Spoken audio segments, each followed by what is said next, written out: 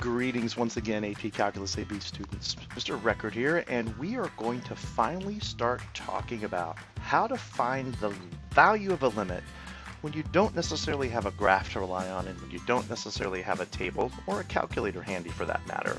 And I like to affectionately call these the green light limits. And they're actually going to be quite easy, and I think you're going to have a pretty easy time with them. So we're talking about topic 1.6 from the course and exam description, of course, and we're dealing with this idea here about the limit as x approaches some value. Well, in order to make this a little bit more clear, we're going to really need to focus in on three very important limit rules. I'm going to call these our basic limit rules. And as you can see, there are three of them.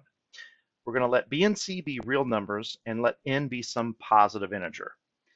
Well, the limit of b as x approaches c is equal to b.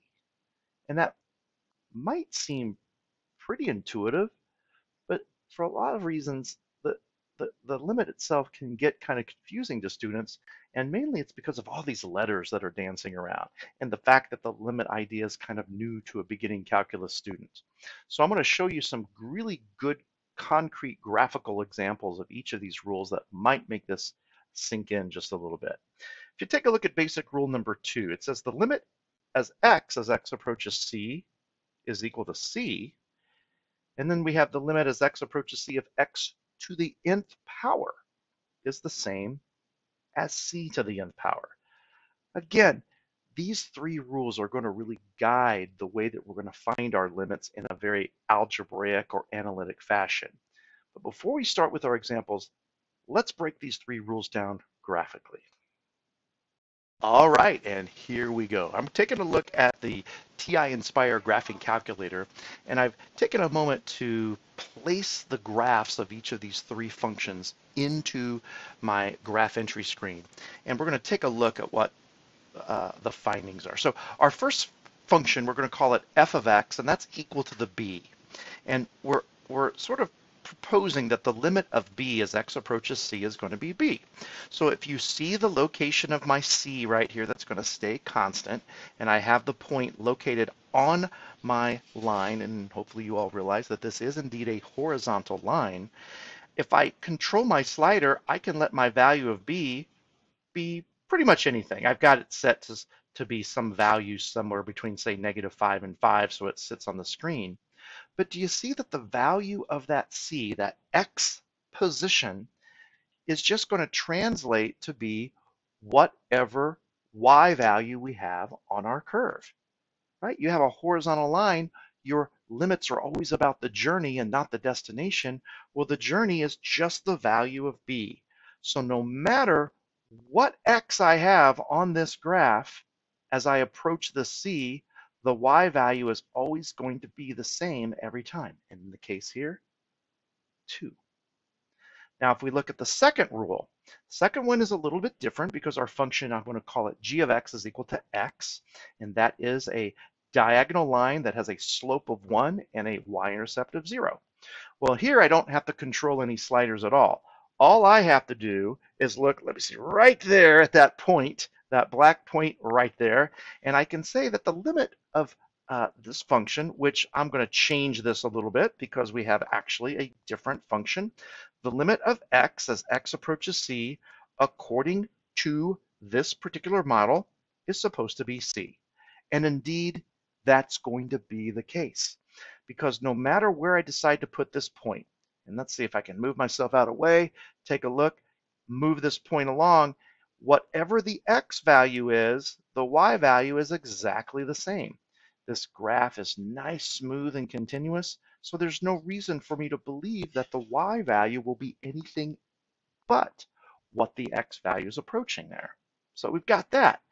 Now if we look at our third example here, now in this particular guy, we've got a much more interesting function. We have x to the n that I'm going to call h of x. Now again, if I apply my slider here, I can see that my graph takes on a little bit of a different look every time I'm hitting that slider, all the way up to the fifth power. And if I keep hitting it, it kind of looks a little bit different. And I can take it all the way back to, say, a first degree. Well, again, what I want you all to notice is that no matter what we approach on the C value, that point is going to stick to our curve and it's going to take on whatever the Y value would be on that curve. And that Y value would just simply be C to the nth power. So by and large, because we have these wonderful continuous functions, finding these particular limits are really as easy as replacing the x value that you see in the function with the value c. Now that's going to go a long way for us to find these green light limits. So with all that being said, let's return to the document and take a look at these four really quick examples. So in our example number one, it says that we want to find the limit as x approaches 3 of 5. So we look at this and we say, well, really that's just a direct adaptation of our first rule. And so there's really not much to think about. The limit is going to equal this value of 5. And now it's really important that we understand as soon as you apply a limit rule, the limit is sort of used up. It sort of disappears. It disintegrates. You don't want to write the limit anymore. You don't want to say that the, the limit as x approaches 3 is equal to 5 because that doesn't really make a lot of sense because I'm going to ask you all, what are you taking the limit of? So try to avoid using notation like that. We're just allowed to write the numerical value. Over in example two, well, for this one right here, I, I guess when you take a look at this guy, it, it, it has a little bit more going on than say example four over here. But the idea is that you can use the same limit rules that we talked about in our previous lesson. We have a rule that says you are allowed to break up the sum of limits by using two separate limit statements. The limit of 4x squared as x approaches 2 plus the limit of 3 as x approaches 2. remember, this can only be done if you're guaranteed that each of those two limits exist. And I think we're in pretty good shape for these two guys existing. Why do I say that? Well, we can use an idea, again from a previous lesson, that says that the 4 constant can come out in front of the limit because the constant multiple rule allows for that to happen. And then meanwhile, we're kind of being patient over here with this limit of 3 as x approaches 2. And by the time we get to here, we can use property number 3 and property number 1 simultaneously. The 4 in front sits and waits. The 2 plugs in for the x. We square, we get 4. And then, of course, the limit of a constant is just the constant. And so 16 plus 3 is going to be 9. Now, by and large, a student, at least in my class, is not obligated to write any of those steps. You can just simply plug the two in for the original x and do the arithmetic in your head and whip out the answer 19. Take a look at example three. We've said that this limit process is pretty darn easy as long as we have nice behavior with our function. And I know you look at number three and you think, okay, wait a minute, we have a denominator. Denominators cause trouble. But I don't think we're going to have to worry about that denominator here. And the reason is because our x value is approaching 1. Yes, while it's true that x equaling negative 1 is going to cause problems for this, we're not even anywhere close to negative 1. Our x is on a journey to become positive 1. And so that's all that we have to focus on. We could easily plug 1 in for all of these x's, and it will give us a numerical value. And all we need to do is, if need be, simplify that numerical value, 6 over 2 in this case, and lo and behold, we have our limit.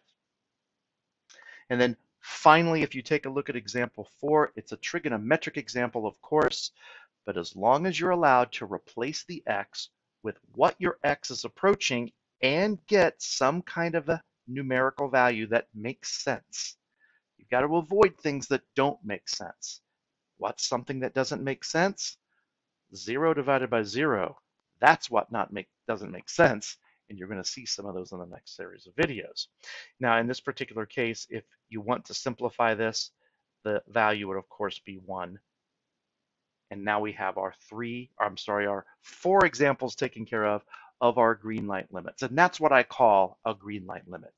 If you are able to plug the x value in for the function and evaluate to get a numerical answer, you all have a green light.